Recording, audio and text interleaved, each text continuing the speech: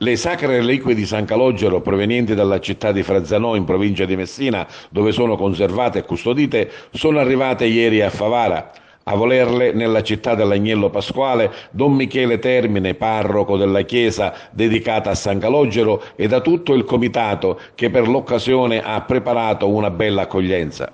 Proprio il tema dell'accoglienza è stato il filo conduttore dell'intera giornata dedicata al Santo Nero ad accogliere le sacre reliquie il sindaco Antonio Palumbo, la presidente del Consiglio Comunale Miriam Mignemi e tanti, tanti fedeli. La processione ha avuto inizio dalla piazzetta Kennedy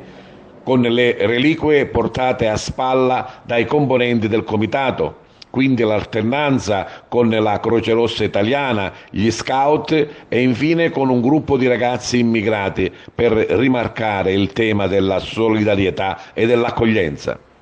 Quindi l'ingresso in chiesa dove la teca con le sacre reliquie è stata esposta per tutta la giornata accanto al simulacro di San Calogero, meta di un continuo pellegrinaggio da parte di tanti fedeli un momento importante per la città di Favara come evidenziato da Don Michele Termine. Un momento importantissimo perché la venerazione delle reliquie ci permette di capire veramente che cosa significa essere santi, avere il Signore nel cuore e queste ossa, che sono state le spoglie mortali, che sono le spoglie mortali di San Calogero, ci permettono di capire che è possibile diventare cristiani, diventare santi come lo è stato San Calogero, perché San Paolo ce lo ripete e ce lo dice, non sono più io che vivo, ma Cristo vive dentro di me. E allora noi credenti, come San Calogero, come tutti i santi, dobbiamo far vivere il Signore dentro di noi per diventare Tempio dello Spirito Santo.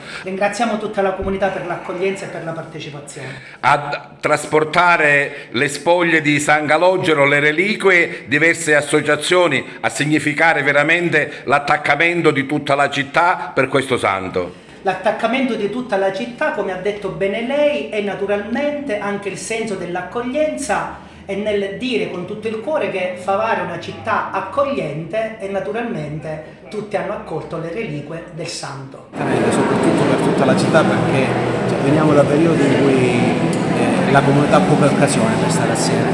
e oggi con questa occasione per i festeggiamenti di San Calogero e con l'arrivo di queste reliquie eh, la, riunità, la, la, comunità è riunita in una maniera bella, si fa e si riportano avanti quelle che sono le tradizioni, la cultura del nostro essere. Come dicevo poco fa, tra l'altro San Calogero ci dà anche l'esempio eh, dell'accoglienza e della natura eh, accogliente e generosa del nostro popolo.